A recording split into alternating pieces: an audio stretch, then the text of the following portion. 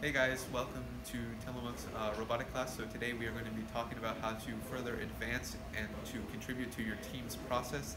Uh, the first thing we are going to be talking about is your uh, team's engineering notebook, which is basically a premise of your engineering process of how you guys built your robot and how you guys uh, work together and, and synchronize into a perfect team. Okay, so not all of you are going to be a perfect team, but all of you should have engineering notebooks, which uh, further help you during tournaments as uh, there are different awards that you can be gifted if you have a really good engineering notebook. Um, and you just have to keep on top of that. They're daily logs.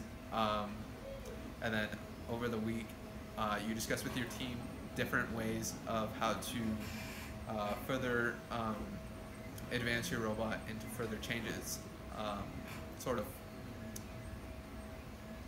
frame so that way you guys can be number one. Um, another thing is uh, you guys can also look for sponsorships which basically help you fund uh, for parts for your team's robot, uh, materials such like sweaters, and you can also use that money to pay for food.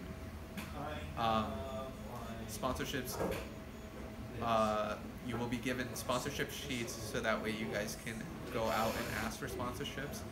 That way they can make a contract with you guys. Um, and basically it just says, hey, we'll give you this amount of money because we, we like the engineering um, class as a whole. And basically that just makes you guys further than others because you have more money to use on different materials to um, use creatively on your robot so that way you guys can also earn different awards like the Aerospace Innovation, Innovation Award. Um, and some things that you can help contribute to make the whole class uh, in general a better like place is to you can ask Mr. Roberts or whoever the teacher is further on if it isn't um, but just ask your teacher um, what you can help with um, to contribute to make uh, the room uh, better. And with that comes um, some things like you gotta be on task with your team. Like if they need help, you help your team. As uh, some of them might get off track, so you might want to help them get back onto track.